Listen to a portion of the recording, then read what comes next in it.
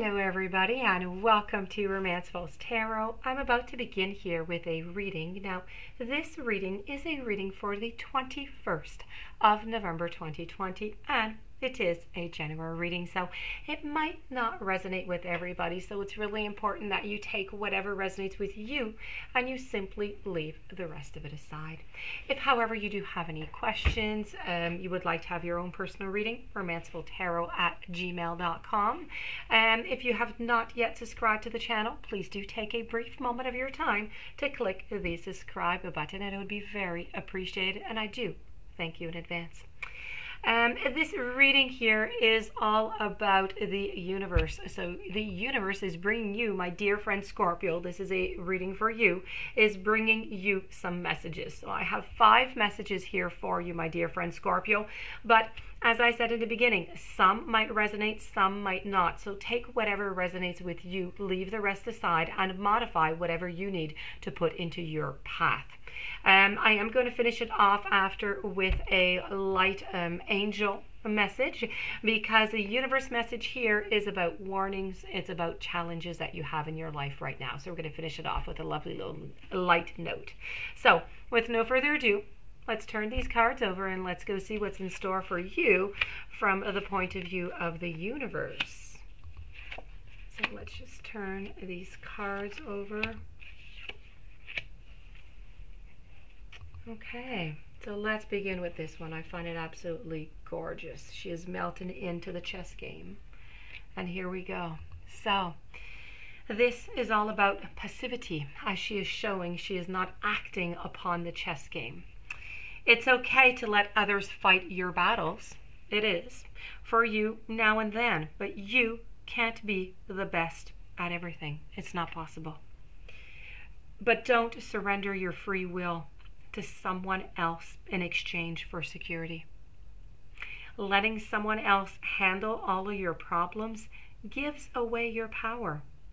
And there will be a time when you struggle against the bonds of passive observation, and you're going to long for more independence. Perhaps that time has already arrived, is a question you might want to ask yourself. Now, the universe wants you to know that there is a fight going on somewhere around you that will have some repercussions for you, so you do need to be aware of that. We're going to move on to the following challenge or warning, and here we are. Voila, and we're going to be talking about some motivation here. Things were going along so well. The universe wants to know what happened whether it's from weariness, from boredom, or even indifference. Somehow the situation has become bogged down and no progress is being made. Consider how you can get things moving again and what would motivate your coworkers, your family members, or collaborators to participate wholeheartedly again. What incentive can you give yourself to move towards the finish line, but with more enthusiasm? There's no point in flogging a dying enterprise, but this one may just need a little bit of an encouragement, a little touch of the whip. There is um, a message from the universe coming with this uh, with this card on motivation um, and its health issues may be affecting your energy level right now. So please try and have a, a little look at that. We're now going to move over to karma.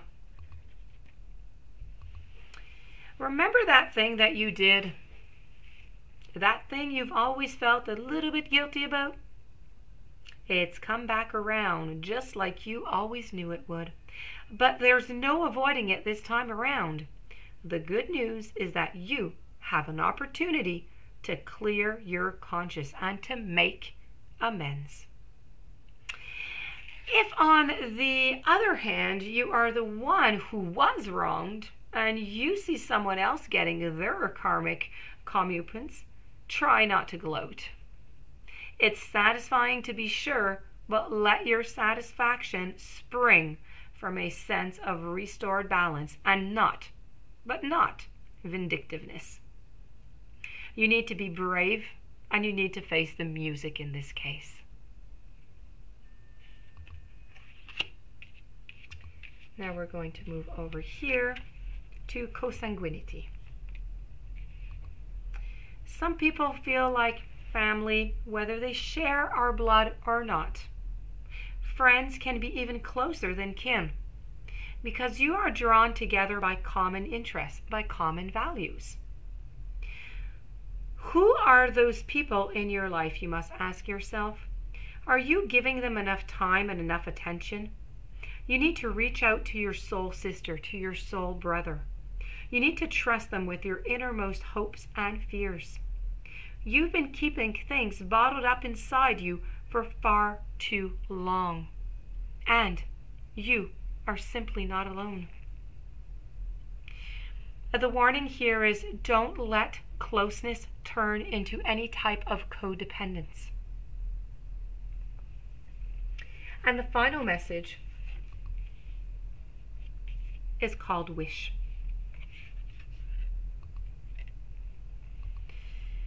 The universe is conspiring in your favor right now, and it's time to make a wish.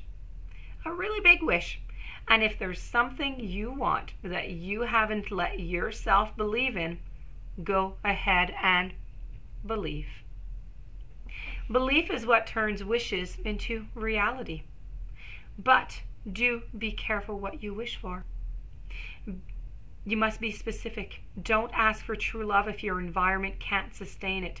Don't ask for a happy ending if you aren't prepared to compromise. The process of making your wish is going to clarify what needs to change in your life to make room for it. And then, poof, your wish is going to come true. If a wish goes awry, Take some time to understand it before you wish again. Very important. We're now going to move over to your angel part of this reading, and your angel wants to speak to you about opportunity. Now, we are all presented with opportunities, and we are expected to flow with the currents that come our way. Drawing this angel message suggests that something is now being made available to you, and it is up to you to use it to your greatest advantage. You must be alert, you must be aware, and you must be prepared. You can, of course, make your own opportunities, and if you knock on enough doors, one will inevitably be opened to you.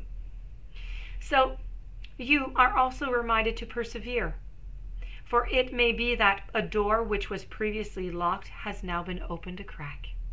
You need to quieten your mind and you need to ask the angels to help you. You are ready for new opportunities.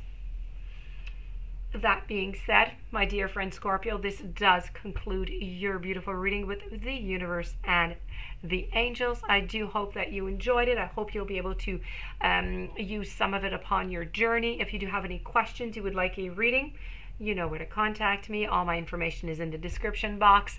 Please don't forget to subscribe to the channel. Stay tuned for following readings and have yourself a beautiful day. I will see you tomorrow with a new message. Many blessings to you.